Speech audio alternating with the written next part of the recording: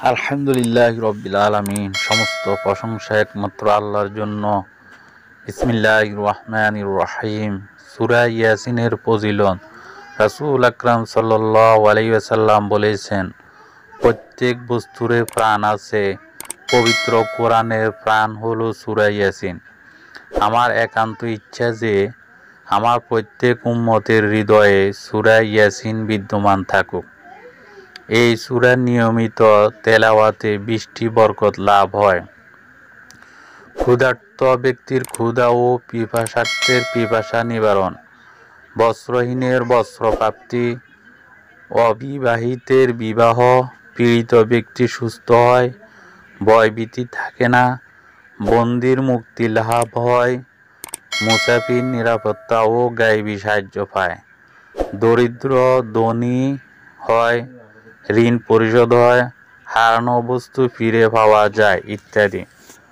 এই চূড়া নিয়মিত পাঠে রোজ কেয়ামতে তার সুপারিশে রবিহা ও মোতার লোক অপেক্ষা অধিক লোক জান্নাতে প্রবেশ করবে। তার জন্য জান্নাতের আটটি দরজা খোলা থাকবে। সাত দিন পর্যন্ত জাফরান ও গোলাপ দ্বারা লিখে প্রত্যাহ তা প্রত্যাহ তা পানিতে ভিজিয়ে সে পানি পান করলে আল্লাহর রহমতে স্মরণশক্তি বৃদ্ধি পাবে। হাদিসে আছে, এই সুরা একবার পড়লে দশ বার কোরআন খতমের সব পাওয়া যায়।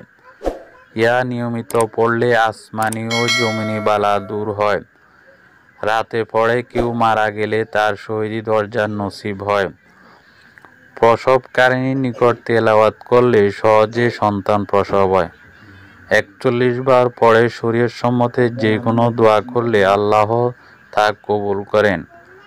মুমস্য রোগীর নিকট পড়লে তার মৃত্যু যন্ত্রণা লাগব হয়।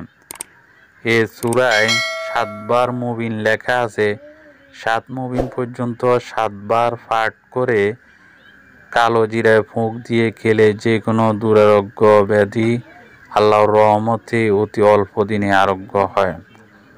হাদিসে আছে, কোনো অভাবী ব্যক্তি প্রত্যাহ সূর্যোদয়ের সময় ইয়া পড়লে তার সকল প্রকার অভাব অনটন দূর হবে। আল্লাহ তালা আমাদেরকে আমল করার তৌফিক দান করুন এবং আল্লাহ তালা আমাদেরকে নিয়মিত পড়ার তৌফিক দান করুন।